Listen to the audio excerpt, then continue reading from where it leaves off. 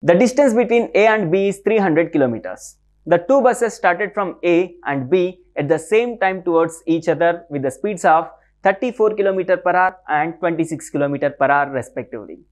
At what distance from A will the two buses meet each other? See, this is a bit modification of the previous question. In the previous question, we just considered how much time they'll take to meet each other. But here, after meeting each other, they are asking from A end, how much distance it will be. So, this is a bit extension of the first question. Let me solve this.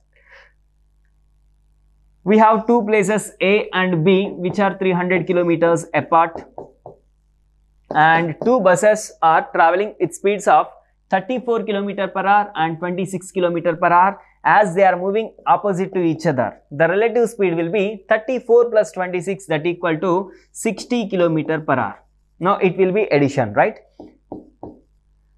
Done. So to cover 300 kilometers at a speed of 60 kilometer per hour, obviously they will take total 5 hours, right? So time period to meet each other is 60 upon sorry 300 upon 60 so 300 by 60 gives you 5 hours so in 5 hours i don't know how much distance the first bus traveled and the second bus traveled but exactly after 5 hours they'll meet each other okay after 5 hours so in that time period of 5 hours just if i find out how much distance the first bus traveled i can find out the answer no, that will be the answer, right? The first car, the first bus is traveling at a speed of 34 kilometer per hour. By traveling at a speed of 34 kilometer per hour, by the time they meet each other, they took 5 hours, na?